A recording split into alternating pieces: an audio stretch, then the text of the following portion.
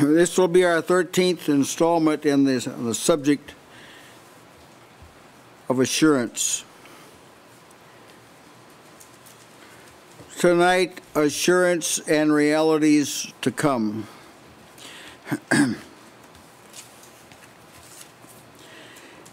Actually, assurance is a very uh, wonderful word and a wonderful concept to think about it. It speaks of persuasion and certainty and being assured and having confidence and sureness or stability, conviction, and certitude. Now, of course, you must recognize that this kind of posture is not at all common in, in Christendom. It ought to be, but it's not. And a significant percentage of professing Christians have very little, if any, assurance at all when it comes to the matter of salvation. And I see as assurance of of realities to come, the things we're going to talk about are very real. And when Jesus comes, you'll you'll see that they were very real. Yes, there's no ambiguity about them at all. They're not types and shadows. They're not figments of the imagination. They're not what we hope is uh, maybe true. These are realities, very real things. See, salvation deals with very real circumstances. It's not philosophical, not salvation. Now there's a there's a form of religion and an approach to it that denies the possibility of having assurance. They'll say things like, well, you can't know for sure that you're going to heaven until the day of judgment comes. Then, then we're all going to find out. Well, I'm suggesting to you, you do well to find out now. Amen. Amen. Assurance is integral to salvation. It's you might say it's part of the package. That when a person is quote saved,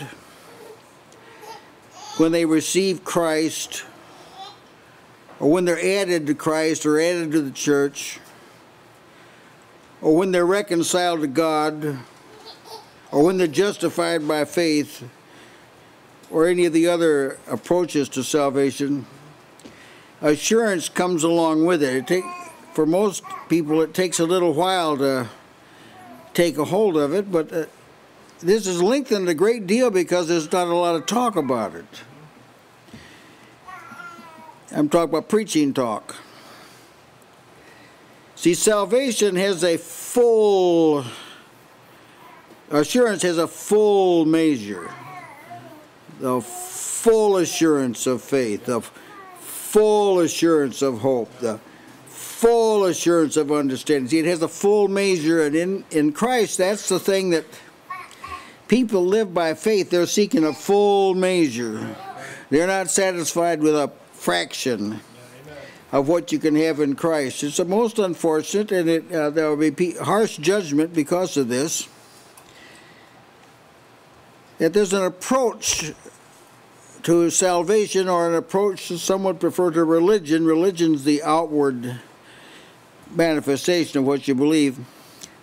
There's an approach to it that teaches people that if you just have some, that's enough. And actually, it's amazing how many, how many people think like this. Well, at least I've got something. It's like saying, well, I got this corner in Canaan and I can't really move about, about very much in it. And all of the Hittites and Jebusites and Hivites and all that are causing me a lot of trouble, but at least I got this little corner. Well, that's not the way to think at all. So let's look at some of the realities that are not of this world, and we're be we want to be assured of them. Not just say you're assured of them. Our text spoke of some of them. Ye had compassion of me and my bonds. That is, you did something about me being in prison. It wasn't you just sit at home. So I feel so sorry for Paul because he's in jail. That's not uh, having compassion. It'd be like the Samaritan walking by the person fell among thieves. Ye had compassion on me and my bonds, and took joyfully the spoiling of your goods. You actually went in the hole. You, you lost a lot of personal advantage by taking your goods and giving them to me. You took joyfully the spoiling of your goods, knowing in your knowing in yourselves that ye have a better and enduring in heaven ye have a better and an enduring substance. Yeah. I know I didn't have that much in the bank. And now we're going to have to hold, hold off on that extra wide TV. I understand that now. But you know, I got something in heaven that outweighs this whole thing. Amen. Oh, yeah. Believe it was Sister Melissa talked about bearing your cross. You can you can smile while you're bearing it.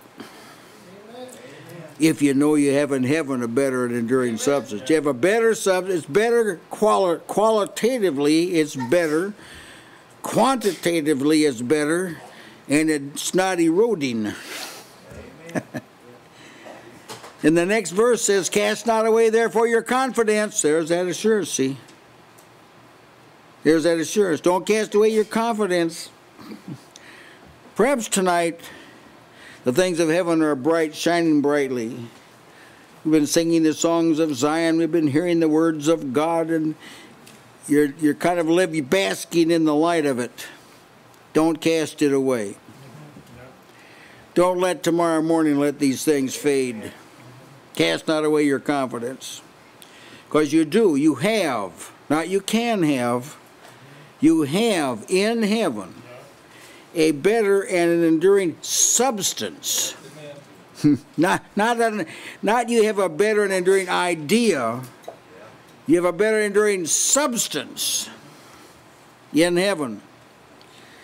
My question to you is Are you assured of this? You examine yourself to see how, how sure am I about this? That I have a better and an enduring substance in heaven. There are things in heaven, things. Things are realities, not ideas, not imaginations. Things are realities. They're not things of the earth that, that diminish. The older they get, they, they deteriorate. They're not that kind of things. Ephesians 1.10 talks about it that in the dispensation of the fullness of the times he might gather together in one all things, all things in Christ, both which are in heaven, things, which are in heaven. In this in this particular reference, this is this is people, and which are on earth as people, even in Him you have a vast company of relatives in heaven. Amen. Amen. You think about them when you're tempted. Think about that vast company of relatives you got in the in the heaven that passed through tougher stuff than you ever have passed through and did it successfully. Think about that. See, it'll it'll stabilize you. Or or do or do you feel as though you're actually related to anyone in heaven? There's songs about your mother being in heaven. Well, what about there's a whole host of other That's right. Colossians 1.16 talks about these things in heaven. For by him were all things created which are in heaven and that are upon earth, visible and invisible, whether they be thrones in heavens, thrones or dominions or principalities or powers. See, there's these kind of things in heaven. These aren't inimical powers because they're not in heaven. Not inimical or hostile forces. That's, that's not what's in heaven. Unless you're not saved, then you got some hostile forces in heaven. And as I mentioned, you got a family. There's a family in heaven. See, when people emphasize this present world and present experiences of life, and the whole religion focuses on your life in the world, you forget about the family. Ephesians 3:15, of whom the whole the whole family in heaven and in earth, Amen. and the greater part of this family is in heaven. Are you assured they are in heaven? Ju- just what, level of uh, confidence do you have that you're part of that family? That the greatest part is in heaven. Paul reminded earthly masters, ye masters, do the same thing to them, for forbearing, threatening, knowing that your master also is in heaven. that good? Your master. So you've got this cantankerous boss needling you all the time, you know. You might humbly say, You know, I was thinking about your master that's in heaven. He's my master too. So as I say, I know about our master who's in heaven. You got to be assured of this, see? So that when you face these supervisors and people managers that are over you, you've got to be assured, yeah, but this isn't the end of the master. We got they got a master too in heaven. Colossians 1:15, these are things in heaven now. For the hope which is laid up for you in heaven. Now here the hope is used for the sub what the hope is in. It's the object of the hope that is mentioned here. Your hope, or the object of your hope, is in heaven. Where have ye heard before the true word of the truth of the gospel? So the thing we're holding on to is not a creed. The thing we're holding on to is not a position or a theology or an idea. It's substantive. Our hope is in heaven. We're holding on to it. Your inheritance, 1 Peter 1 4 says, Your inheritance is in heaven. So what you're going to get is in heaven. That means it's not houses and lands and dollars and cents and gold and silver. Because there isn't any of that in heaven. Say, well, wait a minute, is it there, aren't the streets of gold? No, the Bible doesn't say streets of gold. There's only one street in heaven. It's of gold means it's of it. You, you, he couldn't explain to you what it's made of because there isn't anything on earth like it. So he, he parallels it to right. the most common thing we got there is a street, and it's made out of the most precious thing you got on earth. That's the best parallel I can tell you. There's nothing you've never seen anything like this. Yeah. Amen. This is where we're going to traffic. Yes, amen. This is where we're going to move to and from. We're going to move on this. It's in heaven. Inheritance in heaven. And there's, we got three personalities that bear witness in heaven. They're in heaven now, but they're witnesses.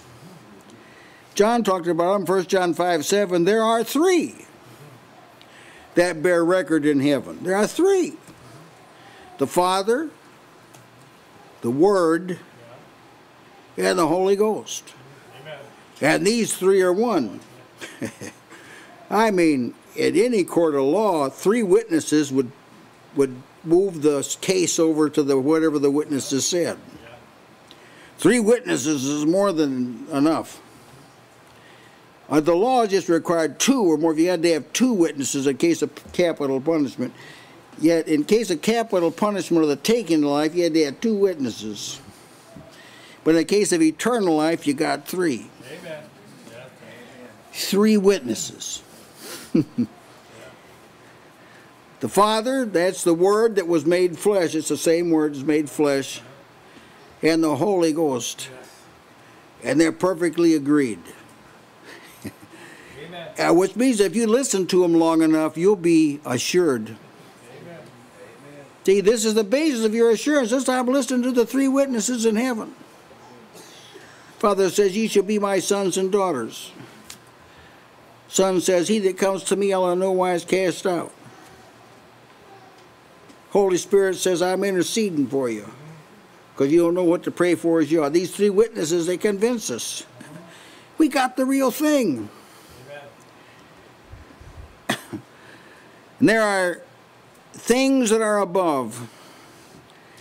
Seek the things that are above. The things, these, realities. Seek the realities that are above. You say, well, what are they? Well, that's your business to find out.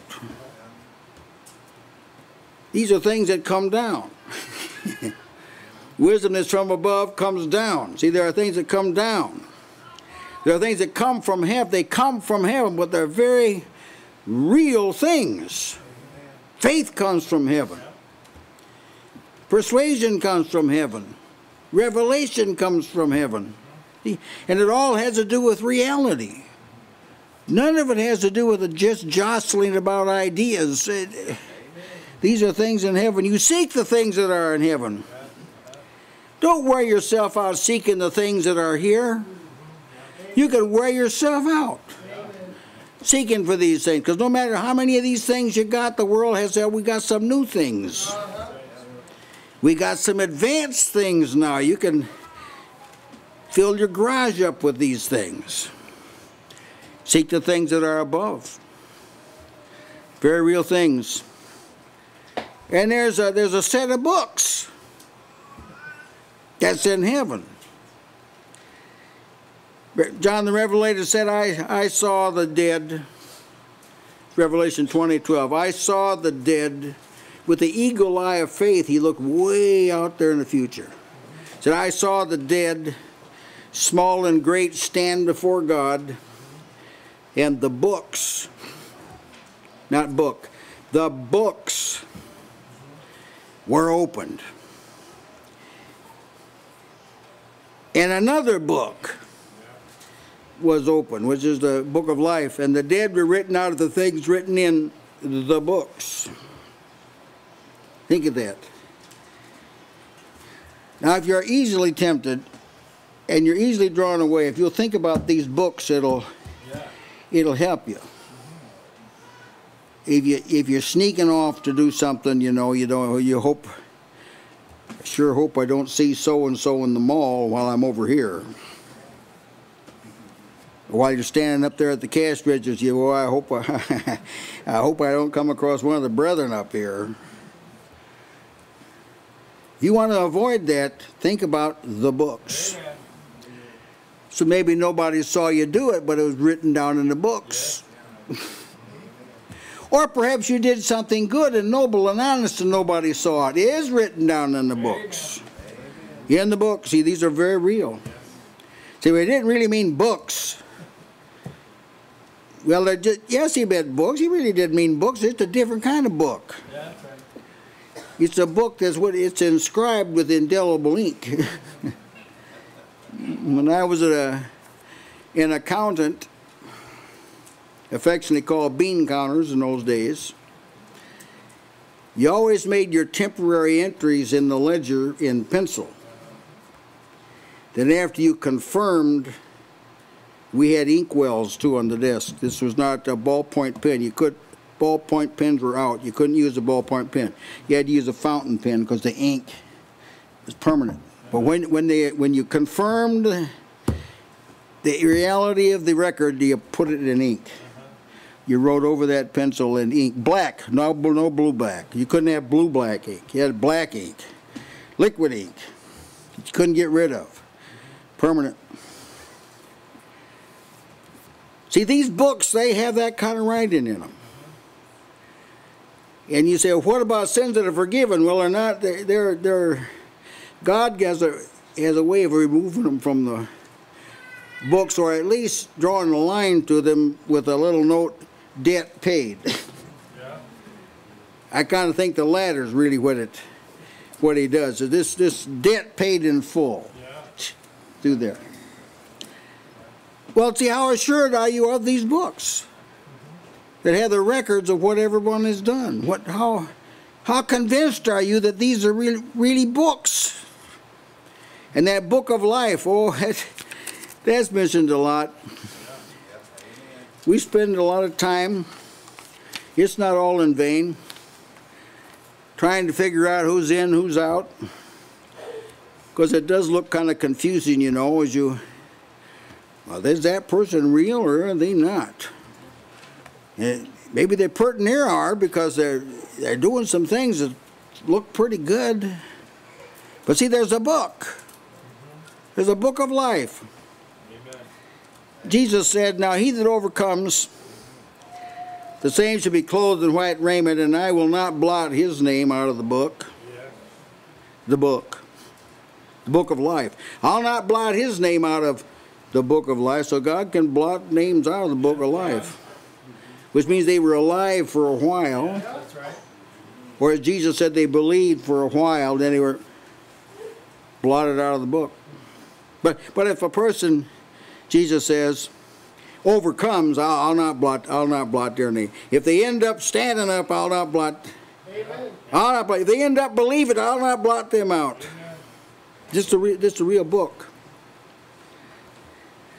Revelation thirteen eight says, "All that dwell upon the earth shall worship him." That's the beast, whose names are not written in the book of life. So here's what happens: a person's name not in the book of life, they they become spiritually gullible because their name's not in the book. They're not alive to God, so they just fall for whatever whatever comes along. They they fall for it. They just swallow it down, even though it's poison. Revelation seventeen eight. The beast which thou sawest was and is not. That is, he hasn't appeared. He hasn't appeared. Is he going to? and shall ascend out of the bottomless pit, like he's going to take over, and go into perdition. And they that dwell on the earth shall wonder whose names were not written in the book of life from the foundation of the world, when they behold the beast that was and is not, yet is, that he came back to life. See, those whose names aren't in the book, they are all confused by it looks like false religion was overthrown, but then it resurfaced. The people living in the days of the Reformation, they thought, that's it, we we finally dealt the death blow to this false religion form without power. Then it today it's resurfaced. Yeah. But if your name's in the book of life, you know perdition. This thing is destined for perdition. Revelation 20, 15. Whoever was not found written in the book of life was cast into the lake of fire. See, you want to make sure you're in the, in the book. Amen. You want to make sure your names are written in heaven, as the scriptures say. Do are you are you assured of that that your name is written in heaven? If you can't, you can be. If it is there, I mean, you can't be sure if it's not there. But if it's really there, you can be assured of it. Revelation 21, 27, there shall no wise enter into it, any, that's the holy city, enter into it anything that defileth neither whatsoever worketh an abomination or maketh a lie, but they which are written in the Lamb's book of life. So it's a real book. I tell you, it's going to make the determination. Amen. Books to be opened, the Father's going to say, now who's, let's go over the names that are in the book, book of life. Let's go over the names. And if you've been persuaded of that your name's in the book of life, shall I say legitimately persuaded that your name's in the book of life, it's amazing what power you've got. You've got power to resist the devil. You've got power to forge forward. You've got power to speak without fear. See, because you know my name's in the book. Yeah. Revelation 22 19 says, If any man shall take away from the words of the book of this prophecy, God will take away his part out of the book of life and the holy city and from the things that are written in this book. As his citizenship will be revoked. Yeah. Under what conditions will his citizenship be revoked? If they tamper with this book of the Revelation. Yeah. That's right. Oh, I'll tell you that. That's an eye opener, isn't it? Yes. Because there's hardly any book of the Bible that's been tampered with more than the book of Revelation. That's right. Yeah. Uh-huh. Now, let's, God, let's go over this again. He said, If any man shall take away from the words of the book of this prophecy, God shall take his part out of the book of life and out of the holy city and from the things that are written in this book. So all the good things written in this book, and there's a lot of them, he'll have no. You'll have no part in any of it. See, the way he talks, it demands that the book, that the book be real. One time, Daniel, an angel appeared to Daniel, and he spoke about a book that actually is in heaven, and he brought word of this book down to Daniel's, Daniel 10:21. I will show thee that which is noted in the scripture of truth. Now, you're not talking about the Bible. That's not what he's talking about. Angel, I'm going to show you what's written in the Bible. That, that's not what the angel's saying. Scripture means writing. The NIV reads, I'll show you what's written in the book of truth. This book of truth, as I understand it, is the same book that was being held when John beheld heaven, and there was a book sealed and no man could open it. That that's a it's a book of eternal purpose, the book of what God's doing. It says I'm gonna I'm gonna I'm gonna show you what's on page 2099 in the book of truth. This book, Daniel, is what determines what happens here. I'm going, I'm going to tell you what's noted there. See, not everybody was privy to this.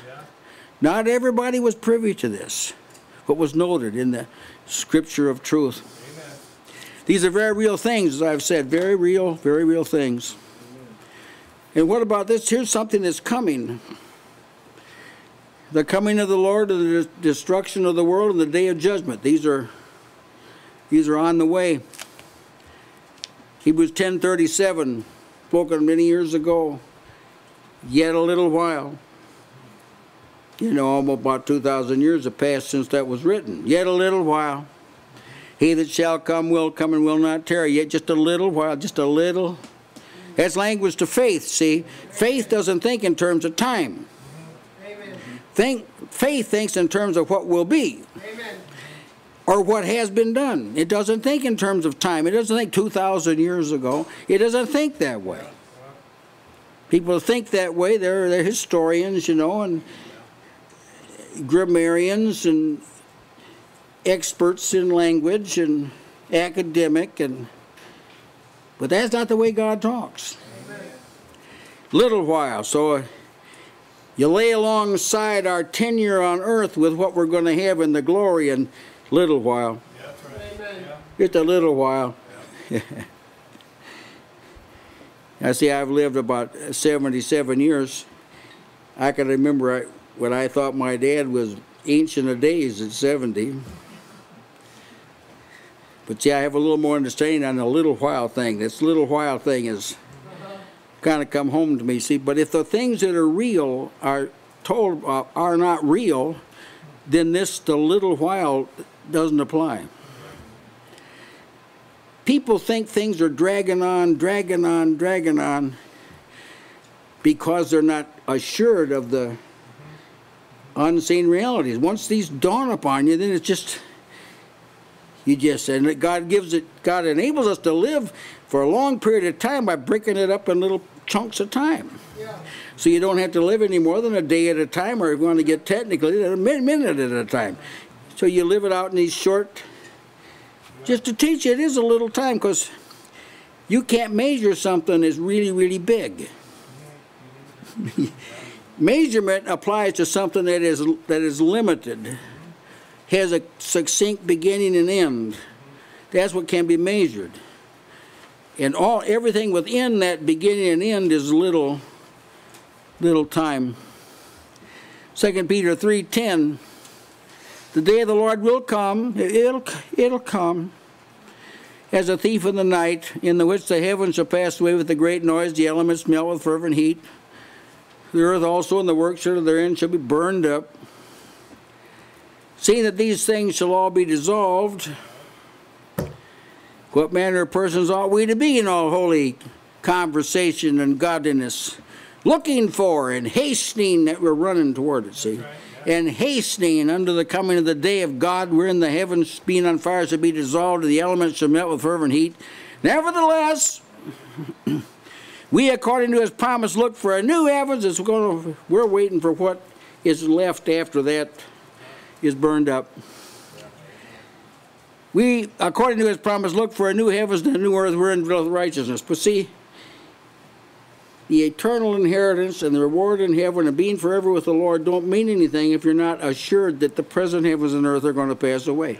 If that isn't sure to you, then you can't have the other part. That's why people balk.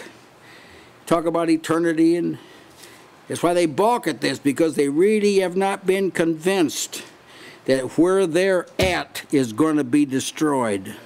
They've not yet been convinced of that reality. Now, these things that we're talking about, to be assured of, they're unlike anything in the natural realm. There's, there's nothing like these. There's types and shadows and partial likenesses are found in the world, but they're not substantive. You can't like get a hold of the tabernacle.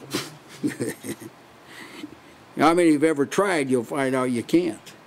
Or get a hold of the sacrifice of lambs, goats, sprinkling of the ashes of a heifer. You'll find out you can't. You can't get a hold of that. You shadows and substances and substance substitutes and types and figures. You can't get hold of them. You can talk about them, but you can't get hold of them. They're like a shadow. They get. They're like a vapor. So you, they, they, you can't get hold of them. Why? Because they're they're not transportable to glory. So at some point you got to start talking about these eternal matters. Unlike anything on earth, these realities cannot be confirmed by any earthly law of diagnosis. It can't, you can't confirm the presence of these things by any human means. Such things as the, uh, the Son of God. You can't prove this. You can't prove that the Son of God is. You can't prove it by any laws of man. Of man. You can't prove the day of Pentecost occurred. Where the Spirit came down and the prom you can't prove that. It's like that that kind of thing. The only the way you prove it is your faith proves it, your assurance proves it, but you can't prove it any other way. Assurance can't come by means of natural experiences. Why, that's easy to say. But there's a lot of people in Christendom that they don't teach this at all this way. They teach if you get the baptism of the Holy Ghost and you speak in an unknown tongue, that's your proof. Or you're slain in the Spirit, He knocks you down, and you don't know what happened, you don't know what you said, but that's your proof. Oh, listen, there's people. I've been had a woman explained to me how it felt. She described the sensation, and I must admit I was a little crude in those days. But I said it's something like taking hold of a, sticking your finger in a electric plug. Yeah, yeah, yeah. It's it's, it's something like that. you can't substantiate spiritual life by external means. You can't do it. Or the things that are in heaven, you can't you can't prove them to the flesh. It can't be done. Men cannot embrace realities of which they're not persuaded. That's exactly why there's a great number of professing Christians that can't get hold of these things is because they don't think they're real. Hebrews 11:13 says these all died in the faith not having received the promises but having seen them afar off and were persuaded of them and embraced them and confessed that they were strangers and pilgrims on the earth. All right, so now you've got a situation where you've got professing Christians. They've gone through all of the required procedures. Their names are written on the church books. They can take communion. But they're not really persuaded of what God has promised. And so they live these sloppy lives. They dabble in this and they dabble in that. And they're not godly and they're not holy and they don't live by every word of God. And why don't they? Why don't we know they should, but why don't they? Because they're not they're not persuaded of the reality of those things. Amen. No matter what they say. Yep. So what can we do about it? Well, you, you've got to speak about the things Amen. in order for the God to convince them that these things that so and so is mentioning, this is very real. So when Peter came to house of Cornelius, he commenced to speak about things that he'd seen. That he said, "Oh, God has showed me that uh, any person that lives for Him and is righteous is accepted." Yeah, it wasn't in a book someplace. That was that was it. That was a that was in the books, and God showed it to him, and so he passed it on to Cornelius. And lo and behold, Cornelius he believed it too. He believed it because somebody said it to him. The eunuch he's riding along in a chariot. He's reading the Bible. He'd been to church. Unlike a lot of people go to church, he's reading out, reading the Bible on the way home. And he is, quite frankly, kind of confused about what he was reading. An angel was dispatched from heaven because this man was obviously uh, had a good heart, honest and good heart. So he dispatched Philip down there. And Philip just, he said, well, Do you understand what you're reading? He said, I said, I don't know if this man's talking about himself or some other man. He said, I can't understand it unless someone will explain it to me. Why did he need explanation? Because it was dealing with something that wasn't of the earth. It wasn't of the world. So it couldn't be comprehended by natural tools. So Philip just said, oh, wh- wh- Where are you reading? I'm reading over in Isaiah 50. He will start there. And he expounded to him Jesus Christ, who's real. Yeah, amen. And the eunuch, he saw it. And he believed on the Lord Jesus Christ. He, he saw that Jesus is real. See? Now, I know I could have done a lot better than I did on this, but assurance has more to do with what you can't see and can't touch than what you can see and can touch. Amen. It has to do with things that are eternal in their essence and that have been determined by God Yeah, and exist in heaven and will someday be revealed. And You don't want to wait till then to be convinced of their reality, and, and there's, that's what these meetings are all about. That's why we get together to help nail this thing down in our conscience that the things we're talking about are not just ideas, these are very real things, very real promises, very real inheritance, very real life, very real intercessor, very real mediator, very little, very real comforter. These things are very, very real, and when you're convinced of them, Yeah. then heaven takes you by your hands and starts walking you along. That's how it works, brother. Amen.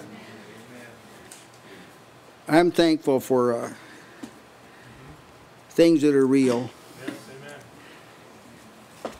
I'm sure you're like me in this regard. Have experienced some disappointments when you you're banking on something and then you, you found out it wasn't it wasn't what the people said. But aren't you glad, huh? That what God's told you is real. Amen. And when you're convinced of it, you start singing and going on your way, rejoicing. Amen. Brother Michael has our exhortation tonight.